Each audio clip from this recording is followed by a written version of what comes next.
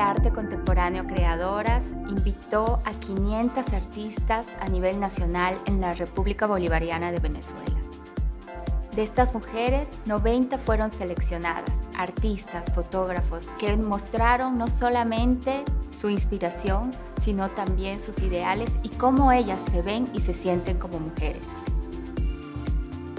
es la oportunidad que tenemos o como nos sentimos las artistas de este país reconocidas en el sentido de que se reciben nuestras propuestas y crea una comunidad muy bonita al ver el trabajo de otras mujeres artistas en nuestro país que hace muchos años no sentíamos tener esta oportunidad de enviar nuestro trabajo a un concurso.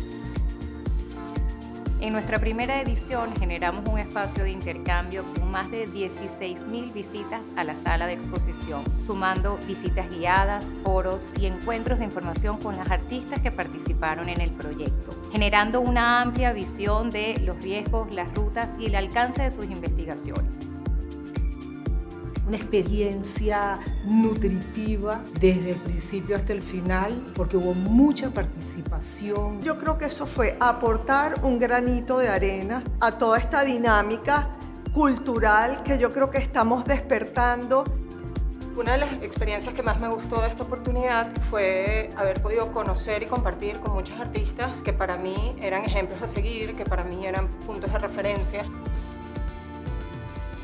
logramos grandes expectativas y logramos unos objetivos que fueron maravillosos para nosotras que pudimos liderar este concurso. A mí me pareció muy importante en el momento histórico y en lo que concierne a las iniciativas que involucran a los jóvenes artistas, porque era algo que necesitábamos hace mucho tiempo, incluir a los jóvenes en propuestas que después tienen peso para su futuro. Conocí una cantidad de artistas más jóvenes y me di cuenta de la creatividad que hay en Venezuela. Me alegro mucho que haya una segunda edición que se va a llamar Transformaciones Humanidad. Transformaciones Humanidad es el título de esta segunda edición del concurso de arte contemporáneo Creadora. Con esta propuesta queremos invitar a las artistas e impulsarlas a hacerse nuevas interrogantes frente a todo lo que está cambiando en el mundo actual. Observar las transformaciones, conectarse con todo lo que está migrando en el mundo contemporáneo. Para nosotros la misión ha sido siempre difundir y proyectar nuestras artistas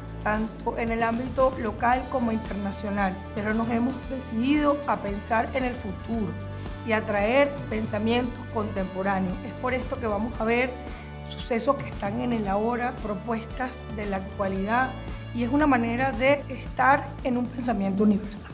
Yo invito a todas las mujeres artistas de este país a que no pierdan esta oportunidad de ser evaluadas, confrontar su trabajo y poder desarrollar una investigación dentro de este nuevo parámetro que ya es poco más abierto con respecto a su modo expresivo contemporáneo.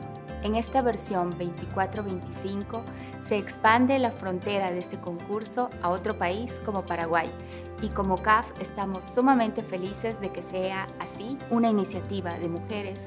Ahora se expande para América Latina. En esta segunda edición de Creadoras quiero invitarlas a todas a participar para que sigamos investigando, exhibiendo y promocionando el arte de la mujer venezolana.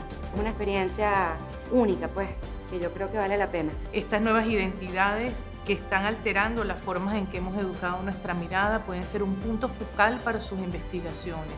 Después de los logros obtenidos, de los riesgos alcanzados, crear nuevos territorios y nuevos escenarios donde la obra y la manifestación de esta obra en el espacio nos ayude también a consolidar las bases de un mejor futuro.